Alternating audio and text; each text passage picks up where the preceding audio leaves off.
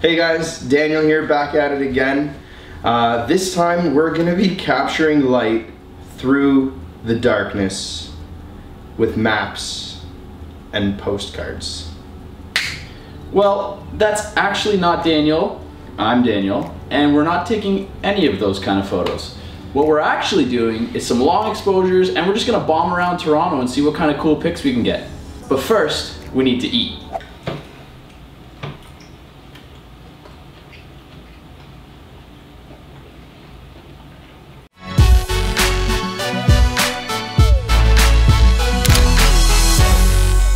Right, so here's the game plan. Uh, by the way, this is Lumbo.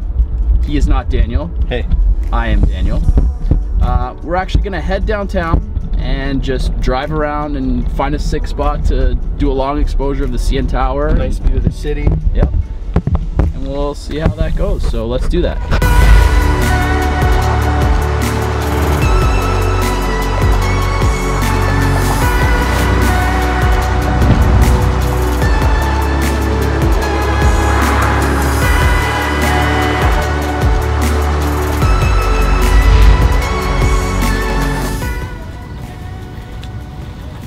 Right, so we are, I don't know where we are. Humber Bay Park. Humber Bay Park in Toronto. In Toronto? Just Toronto. like outside.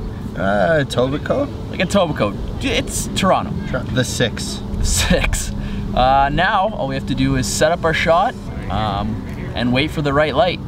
But first, I'm gonna get Lumbo to explain what you need for a good long exposure. Welcome to another episode of Learning with Lumbo. The first thing you're gonna need is a tripod. You're not gonna wanna have to hold a camera for three hours. This is gonna help you out. The next thing you're gonna need is a remote. Now you want a remote so that you're not touching the camera, messing up the shot, moving it any so way. Uh, any slight movement's really gonna mess it up. So when in doubt, remote. Yo, is that it? I think so. I can't think of anything else that we should really, we need a camera for this. You can't take a photo without a camera, guys. Come on, you know this. And that was Learning with Lumbo. All right, so we got our tripod set up in the back. I don't know if you can see that or not. Thank you for that awesome explanation. Uh, we also have the remote set up. Another thing the remote is good for is you can actually lock the shutter open so you can have it open as long as you want. You don't have to worry about touching that camera. You don't have to like hold your finger on the button. So that's beauty. Uh, skyline in the background down there. You can't really see it, but it's there. Um, It's there. and now we just gotta wait it out till the, the light is just the way we want it.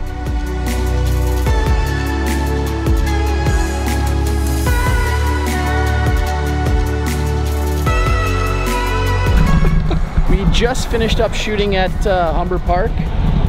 Pretty sweet spot. We got some sweet shots of the skyline. Show you this one right here. And I'm not really a photographer, but it was pretty simple. Oh yeah? It wasn't too difficult. That's good. Like Yeah. if it's easy for you, it'll be easy for other non-photographers. yeah, it was pretty good. I'm gonna switch hands here. Yeah. Jesus, this is heavy. You wanna hold it? Yeah. Oh wow, that is heavy. okay. Okay, yeah, hold it out like that. Okay. Yeah, um, and we actually got another shot, which is my favorite. It's this one right here. Totally by accident. Figured we should just turn the camera and check this out. And uh, that's what we got. Now we are headed to another spot on Christie. Christie and Bloor. Christie and Bloor, downtown Toronto. And we're gonna try another cool shot. And when that's done, I'll show you guys what it looks like.